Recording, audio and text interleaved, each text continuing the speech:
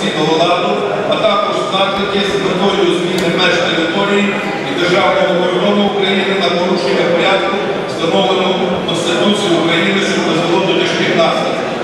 Крім того, у вільному доступі слідчих виявлено значну кількість відеоматеріалів, на яких зафіксовано висловлювання спрямовані на насильницьку зміну та повалення конституційного ладу в Україні, а також на зміну. Зокрема, 11 квітня 2014 року в приміщенні Донецької обласної держадміністрації, виступаючи перед так званими протестуючими, він визнав існування самопроголошеної Донецької Народної Республіки та навіть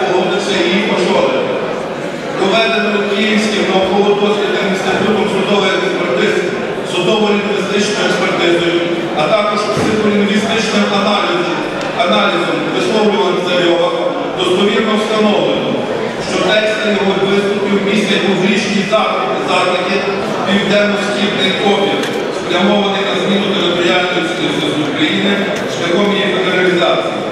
За даним фактом прокуратурою Донецької області 16 квітня цього року також розпочато кримінальне провадження за частиною 2 статті 70 Кримінального кодексу України. І на цей час проводиться досудове розслідування. До цього треба врахувати навіть останні події в Луганську та Донецьку, під час яких Царьов продовжив свою протиправну діяльність, давши згоду на очолення так званого руху опору на сході.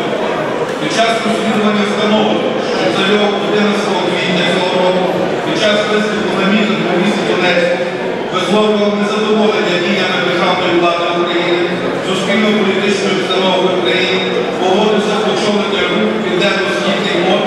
спрямований на зміну територіальної цілісності України шляхом насильницьким шляхом. Також прокуратури Луганської області розслідувалось кримінальне провадження від 15 квітня 2014 року за частиною 2 статті 110 Кримінального кодексу України стосовно народного депутата України Царьова, який 12 квітня біля будівлі управління Служби безпеки України в Луганській області здійснював публічні заклики щодо змін меж території України. Всі вищі вказані провадження об'єднано та визначено і слідні за головним слідчим управлінням Генеральної